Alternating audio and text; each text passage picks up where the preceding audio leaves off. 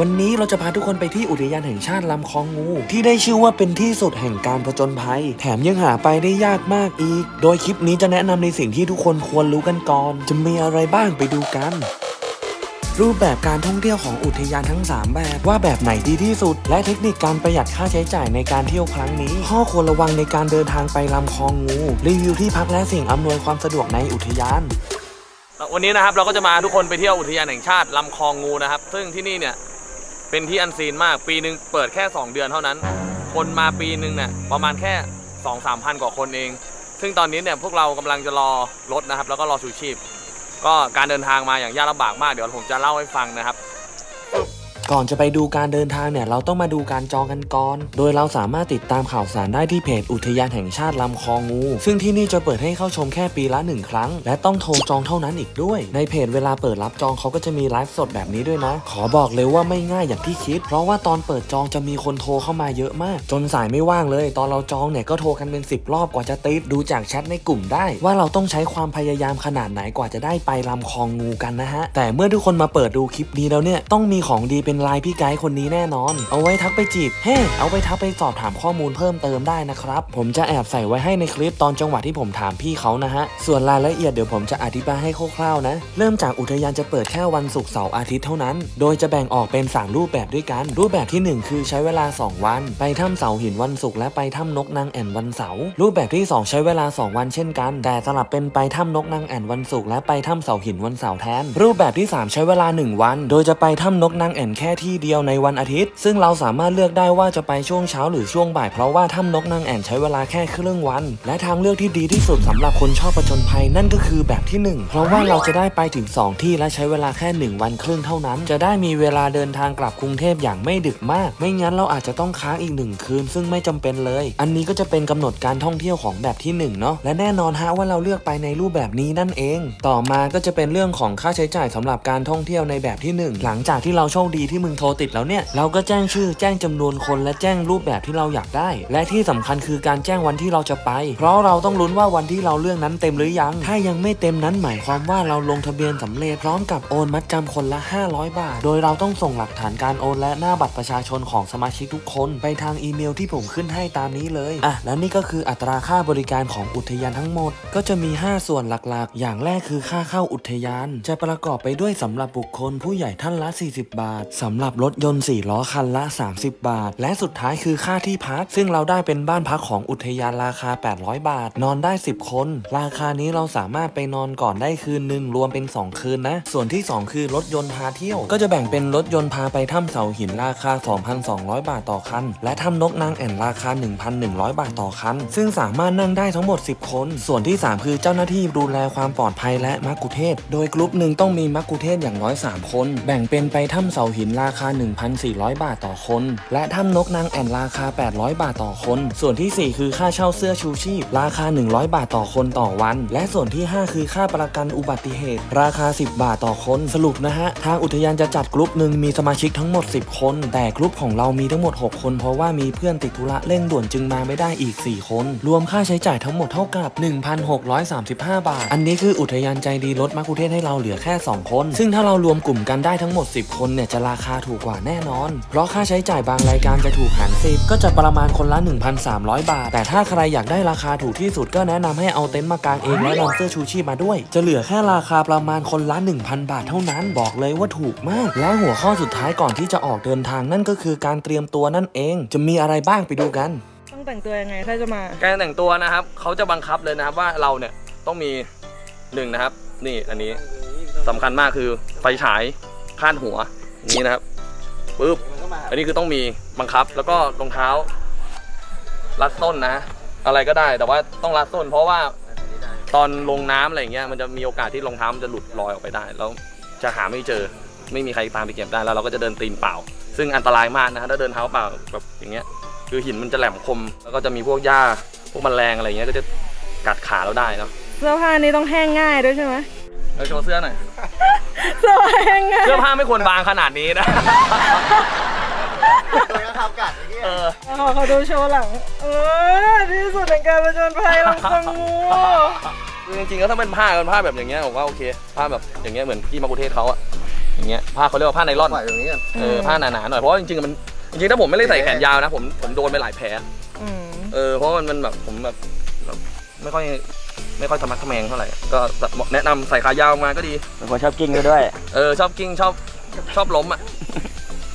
คือสุดท้ายอะถ้าเราเดินไปเรื่อยๆมันก็จะแห้งเพราะว่าแดดก็จะมีแดดบ้างอะไรเงี้ยช่วงบ่ายๆก็จะมีแดด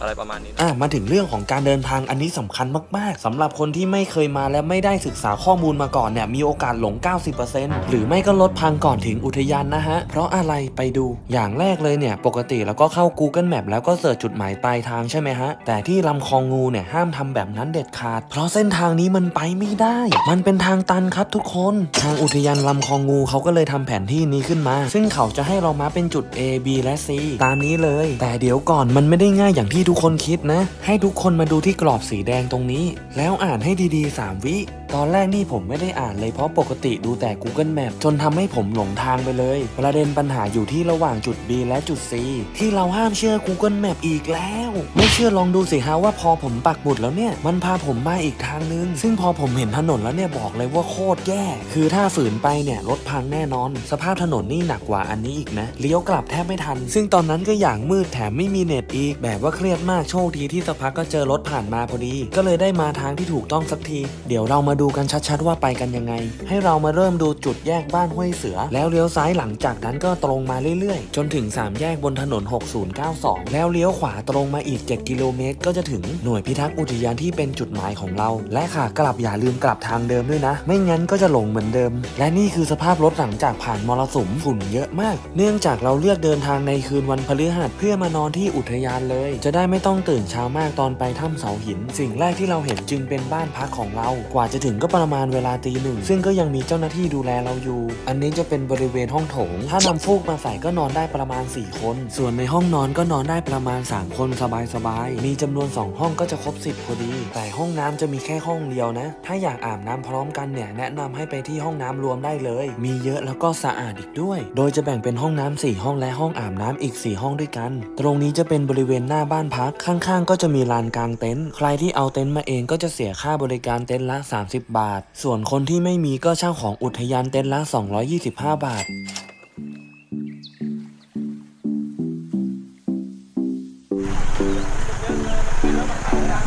อยู่ในห้องมุมนั่นแหละเปิดประตูเข้าไปอยู่และนี่ก็คือบรรยากาศช่วงเช้าของอุทยานแห่งชาติลำคลองงูณเวลาประมาณ7โมงที่เราต้องมาลงทะเบียนและรายงานตัวกับเจ้าหน้าที่ ก่อนอื่นเราต้องมีผลตรวจโควิดและเอกสารยืนยันการฉีดวัคซีน จะเป็นแบบอิเล็กทรอนิกส์ก็ได้ หลังจากนั้นก็ส่งให้เจ้าหน้าที่ตรวจสอบ แล้วก็รอพี่เขาเซ็นเอกสารนิดหน่อยพอเสร็จแล้วก็ถึงเวลาจ่ายเงิน สามารถโอนเงินได้ด้วยนะ ส่วนเรื่องของอาหารเนี่ยที่นี่ก็จะมีตลาดนัดชุมชน เป็นยังไงไปดูกันเลย หมอกเต็มเลย พอเราลงทะเบียนเสร็จก็จะมีเวลาเหลือประมาณ 1 ชั่วโมง เราก็เลยเดินออกมาหาข้าวกินกันชิวๆซึ่งตลาดนี้อยู่ไม่ไกลเดินออกมาด้านหน้าประมาณ 500 เมตรก็ถึงแล้ว เราเลือกกินที่ร้านแรกร้านนี้จะเป็นร้านข้าวแกงบุฟเฟ่ต์ตักได้ไม่อั้น จานละ 50 บาทเท่านั้นเอง ไหนอ๋อตักใส่จานนี้เองเลยใช่ไหมเชิญบุฟเฟ่รวมทั้งไก่ ไม่ค่ะไก่ค่ะ ไก่ตั้งหาก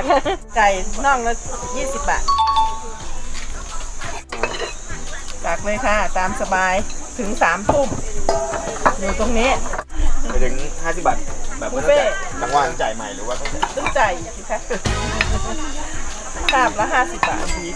น้ำพริกปลาร้าค่ะ ตอนเย็นจะมีน้ำพริกปลาทูเสียบฟรีฟรีน้ำพริกฟรีส่วนร้านข้างๆ ก็จะขายลูกชิ้นและมันเผาต่างๆ ถัดมาก็จะเป็นร้านน้ำที่จะมีเครื่องดื่มเกือบทุกรูปแบบ แต่เครื่องดื่มแอลกอฮอล์ห้ามนำเข้าไปกินในอุทยานเด็ดขาดนะ ไม่งั้นโดนจับแน่สแกนได้หนังไก่ปะถามบ้านมีไก่ย่างยัง เฮ้ย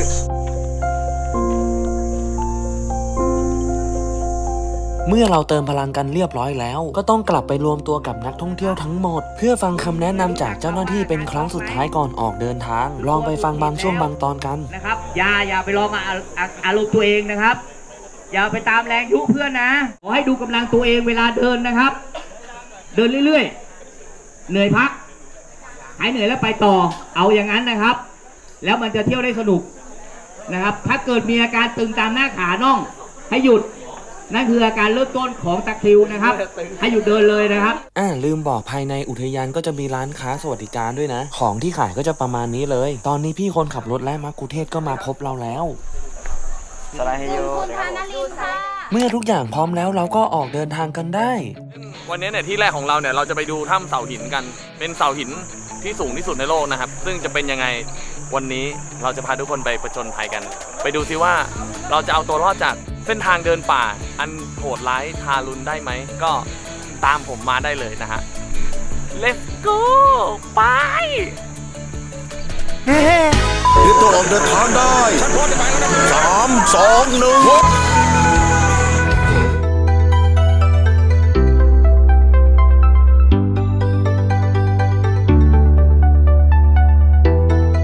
เราก็จะนั่งรถไปประมาณ 25 กิโล อันนี้พี่พี่ชื่อว่าอะไรนะครับการค่ะ พี่การ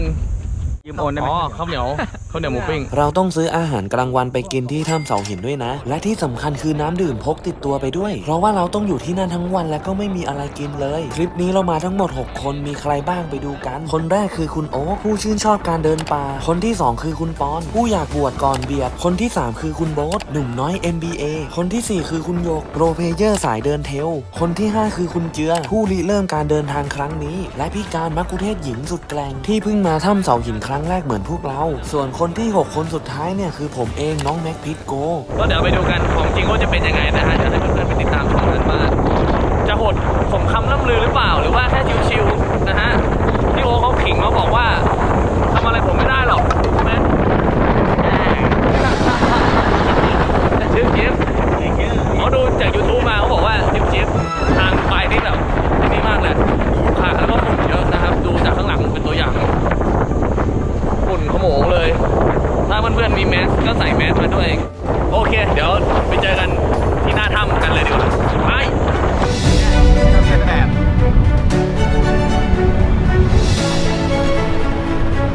แพงเหมือนเราน้ำน้ำตกอะดันเขาไว้ว้ากูจะรอดไหมเนี่ย